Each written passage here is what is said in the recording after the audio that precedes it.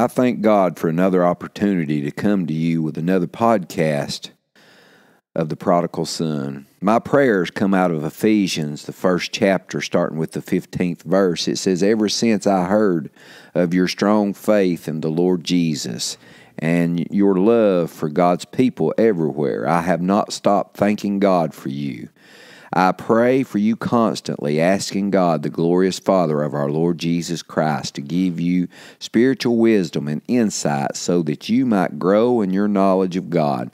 I pray that your hearts will be flooded with light so that you can understand the confident hope he has given to those he called, his holy people, who are his rich and glorious inheritance. I also pray that you will understand the incredible greatness of God's power for us who believe Him. This is the same mighty power that raised Christ from the dead and seated Him in the place of honor at God's right hand in heavenly realms. Now He is far above any ruler or authority or power or leader or anything else, not only in this world, but also in the world to come. God has put all things under the authority of Christ and has made him head over all things for the benefit of the church. And the church is his body. It is made full and complete by Christ who fills all things everywhere with himself. Ephesians 3:14 says, "When I think of all this, I fall to my knees and pray to the Father, the creator of everything in heaven and on earth." I pray that from His glorious, unlimited resources, He will empower you with inner strength through His Spirit.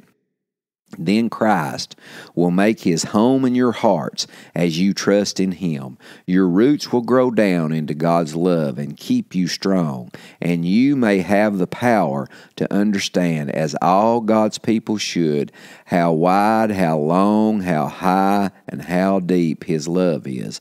May you experience the love of Christ, though it is too hard to understand fully. Then you will be made complete with all the fullness of life and power that comes from God. Now, all glory to God, who is able through his mighty power at work within us to accomplish infinitely more than we ask or think. Glory to him in the church and in Christ Jesus through all generations forever and ever. Amen. I, that is my prayers for you. That is my prayers for myself. That is my prayers for everyone that walks the face of this earth, that God would open the eyes of our understanding and let us see just exactly what He has in store for us if we would just allow Him to be what He wants to be in our lives, and that is our Lord and Savior, our trust, our healer, our oh, our deliverer from everything. I pray today that you would guide, allow God to guide and direct you through His Word. Allow the Holy Spirit to touch you and give you the understanding that God wants you to have. Now let's see what God's Word has to say today. Father, I praise you and I thank you for your Word. Oh, and the guidance that you have given us through it. I praise you and I thank you. Holy Spirit, touch my heart touch my mind, guide me through everything that I say and do today. Use me for God's honor and His glory, and I'll forever give God all the praise and glory for it all. In Jesus' holy name I pray. Amen. I'm going to be taking my scripture today out of Ephesians, the sixth chapter. And I, I, I think I'm going to read this story first because this story just ties right into to what I'm talking about. It, say, it says in 1932, 200 sailors were holding onto ropes attached to an airship, the USS Akron, as they attempted to moor the giant airship to a steel mast in San Diego. Suddenly, however, the airship shot straight up into the air. Some of the men hung on to the lines and were swept up with the ship, soon falling to the ground. Several were killed. After all the rest had fallen, one man kept hanging on. He could be seen as the airship soared high in the sky. People were screaming and fainting. They knew this sailor couldn't hold on on much longer, and at any minute he might fall back to the earth to, and certain death. But after an hour and 45 minutes, when they had, were able to pull the airship back to its mooring, the sailor was still hanging from the airship. An ambulance was waiting to take him to the hospital, but he said he was all right. People asked him how had he held on for so long. He told them he found that he had about four feet of rope. So while holding on with one hand, he tied the rope around his waist with the other, and the rope held him. He held, he was just swinging free the whole time. Now I want to talk to you today. I'm going to read Ephesians 6:10. It says, "Finally, my brethren, be strong in the Lord and the power of his might. That man that was hanging in that rope was hanging by the rope's strength and not his own. And I'm proclaiming to you today if you, if you will be strong in the Lord. And and and how are you? And you say, well, how, how should how how can I be strong in the Lord? How can I uh, depend upon Him? Well, I, I I I emphasize it over and over and over again. The strength and the power and the victory, healing, salvation, everything that God has for us is in His Word. Everything that God has for us is exactly bound up in the in the in the cover of the Holy Bible. He wants us to rest in his promises, to rest in his the way he is telling us to do things and, and what he wants us to depend on. It says, Trust in the Lord with all thine heart. I think it's Proverbs 3 5 and 6 says, Trust in the Lord with all thine heart. Lean not to thine own understanding. In all thy ways acknowledge him, and he shall direct thy path. Glory to his name. That sailor could not have held on for an hour and 45 minutes with his own with his own strength in his hands. There were people falling around him, dying. But he had enough about him to understand that what he was holding on to, he could wrap around himself and and and rest in that rope's strength. And that's what I want to, to, to tell you today that you can take God's word and rest assured that it is true. And if it is true, and it is, every word of it is true, you can count on every word of it being real in your life. If you're needing, if you're needing something in your life to, uh, to sustain you, I, pro- I promise you, God is your sustainer. Philippians 4:19 says, "But my God shall supply all your needs according to his riches in glory by Christ Jesus." It didn't say some of your needs. It didn't say he, he would supply your needs if you were good enough. It says that he shall supply all your needs.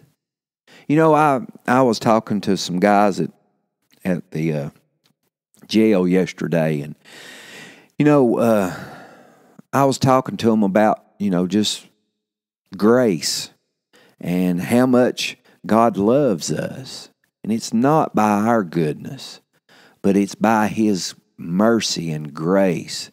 The Bible, the Bible says that we are saved, or by grace we are saved through faith. God's unmerited favor. I don't care what you do and how hard you work. You cannot work hard enough to get God or to to probe God or to prove to God that you are good enough for him to save you. It's only by his grace. He loves you and he cares for you. I didn't realize that for a lot of years. For a lot of years I thought I put God I made God human with human emotions that, that when you don't do what he asks you to do, he pouts and sticks his lip out and doesn't speak to you and, you know, just lets you suffer and and and and that was wrong. And it just pushed me to get further away from him. But when I come to understand, like Luke 15, 11 through 24, like the prodigal son, when I read that and fully understood that God was just waiting on me all those years, all those years, to just turn around and come home. You know, He ran to me. Uh, my goodness, it, it it's amazing. It is amazing what you can learn in Luke 15, 11 through 24 if you'll just read it and apply it to yourself. That young man was in a bad position, but he started home. And when the, the Bible says, when the father saw him in a distance, said he ran, the father ran and fell on his neck and kissed him and put a robe on his back and shoes on his feet and a ring on his finger and killed the fatted calf and celebrated. Celebrated. That boy was prepared to be a servant for the rest of his days, but his father God, this is a picture of God. His father restored him, slid his feet right back up under the table that he had left. Why? Because of grace and mercy and love that the Father had for his Son. God has that same love and mercy for all of us. And you say, Well, I've never been born again. I don't, you know, I don't know how to accept Jesus Christ as my Lord and Savior. I'm here to tell you today that Romans 10 and 9 said, If thou shalt confess with thy mouth the Lord Jesus, and shalt believe in thine heart that God has raised him from the dead, thou shalt be saved. For with the heart man believeth unto righteousness, and with the mouth confession is made unto salvation. That's all it takes to be born again. That is all it takes to be born again.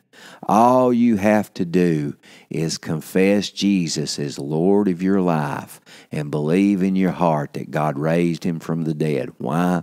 To justify you in the eyes of a holy God. Glory to his name. Won't you accept Jesus Christ as your personal Savior today? If you're born again and, and, and needing something from God, look to God. Wrap yourself in His promises. Reside in His strength. Uh, depend upon Him. And I promise you, depend on Him. The Bible says to cast all your cares on Him, for He cares for you. Won't you do that today? Look to God's word for your strength and your and your deliverance in a time that that maybe maybe you think is you're on your last leg when all you've got to do is wrap God's promises around you. Depend upon them. When you start putting God's word into your life, I told them this this yesterday at the jail. I said, when you start getting dependent upon God's word and put enough word into into your life that the Holy Spirit, when a situation comes up, that the Holy Spirit has something to work with, that, that He can bring to your mind a scripture that's the answer to the problem that stands before you. Put God's Word in your life and watch Him deliver you time and time and time again. Glory to God. Go to our website and let us know what's going on in your life. If God's working in your life, if you've been born again through this podcast, we want to know it. We want to be in touch with you. We want to hear from you. We want to know what's going on in your life. Go to our website. It's the-prodigalson.com. Get in contact with us. You know, God is blessing blessing me through this podcast. Oh, I get a I get a thrill to know just what God is doing in people's lives. I pray for you earnestly daily that that God would touch your hearts and lives through this podcast and strengthen you. Go to our website and let us know what's going on in your life. It's the dash prodigalson.com.